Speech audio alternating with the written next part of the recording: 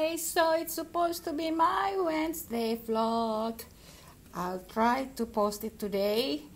Been home all day, didn't go out. It's been raining, even though it was a beautiful day.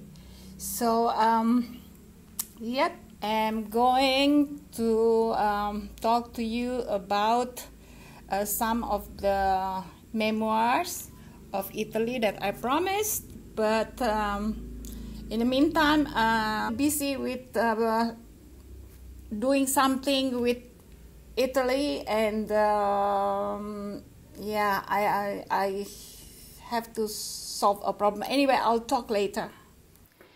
So the memoirs that comes up to mind now is first uh, when uh, my husband took me to Rome and we went to this Via Condotti.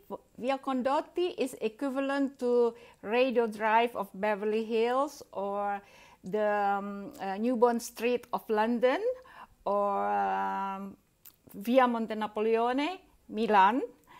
Uh, and it was my first time to Rome, so I didn't even know the difference.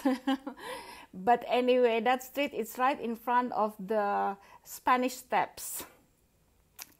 And uh, uh, we went inside this boutique. So while I forgot already the name because I was new, so I didn't pay attention. Because mind you, I'm not a brand uh, uh, minded person. I I'm not a brand minded person. Yet my my ex husband and my husband uh, gave me uh, some of the brand names, but I, I I don't know.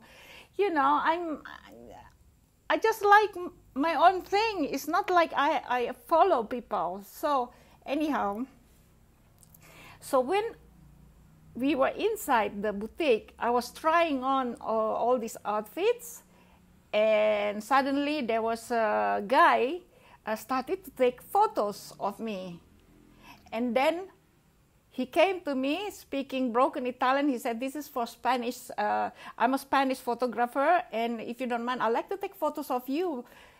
So me without asking okay could you give me your name or your name card you know and could you give, send me the photos? I didn't because i was totally new in rome. My husband was sitting there watching me. You know like that film pretty woman right? That comes to mind another anecdote uh, so uh, while he was watching me this guy uh, approached me and said uh, uh, you know, I would like to take a few pictures of you while you're trying the dress on. So you just go on, eh, you don't need to pose. Okay, so that was it. That was one anecdote. Uh, another anecdote is uh, I was walking in the street in Milan, and then it was in autumn, and then it uh, the woman, uh, quite um, an elegant woman, stopped me in the street and said, uh, actually I should take this off. Okay, let me just, it's, it's better.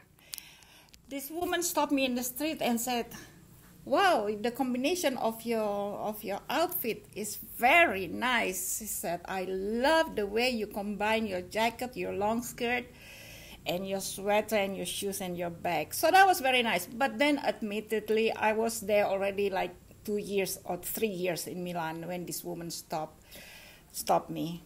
Okay, another anecdote which was absolutely totally new uh, in Milan.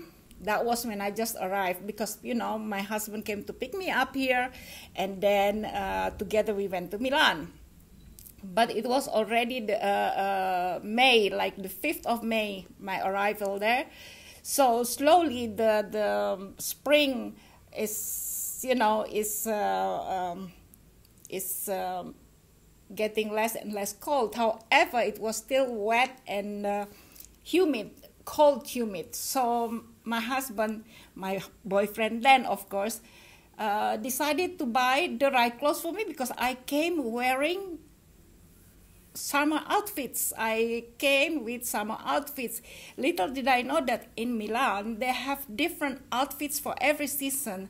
If my husband maybe had been an Englishman or an American man or even German man, and you know he brings me to his country. maybe they wouldn't you know give importance but my husband is Ita- italian you know from milan so he really made sure that my clothes were the right clothes to wear in that season so anyways so he, apparently he asked his sister so his sister um, recommended us to meet her at this very nice boutique near her office. So we went there at uh, after office time. It was raining, it was wet, it was still spring. Of course, let's say we went there around 8th of May. And that was it. And, uh, you know, there was it. Uh, uh, uh my sister in law didn't come. Sorry, my sister in law didn't come. My, my sister in law just uh, referred him to go to this particular boutique. So my husband was sitting there and then again watch me uh, putting on clothes. But you know, you must understand that I wasn't in the knowledge of these different seasons outfits.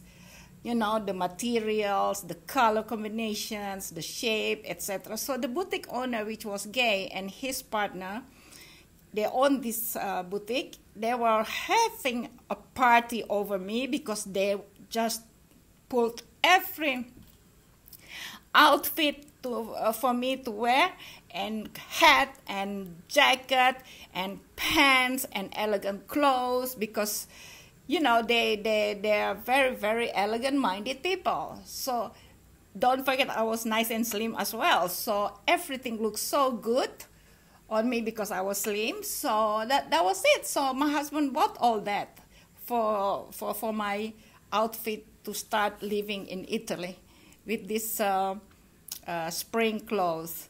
So that was the third anecdote. So that's my vlog for this Wednesday. Okay, um, rather than nothing, I better post this vlog for you all today.